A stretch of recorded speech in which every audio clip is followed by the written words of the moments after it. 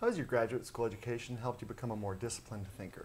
What I do in my job every day as an environmental advocate working with the private sector uh, does not directly draw on my uh, graduate school training as a researcher.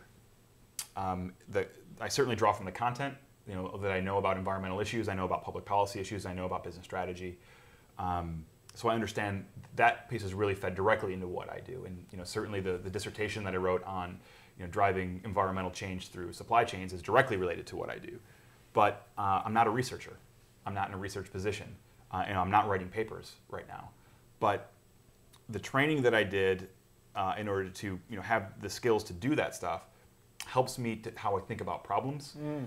Uh, even if I'm not directly doing research, when I when I encounter a problem, I you know go back to fundamentals of you know trying to ask the right questions, trying to say if I don't have an answer, how would I figure that out? You know, who can I talk to? Um, wh- what what do the data say in the research that does exist? Um, and you know those are it's primarily problem solving. And even if I'm not doing research, I am solving problems every day, and I can draw on those those methods that I learned you know to be a researcher. So uh, it's structured thinking. Uh, it's structured thinking that uh, I did not have before I entered a graduate program, mm-hmm. Uh, but it's certainly made me, I think, a more effective professional to have that in place, even if I'm not directly uh, in the field that I um, studied. I, that is to say, I'm not a, I'm not a professor. I'm not a, I'm not a researcher, but those skills help me to do my job better.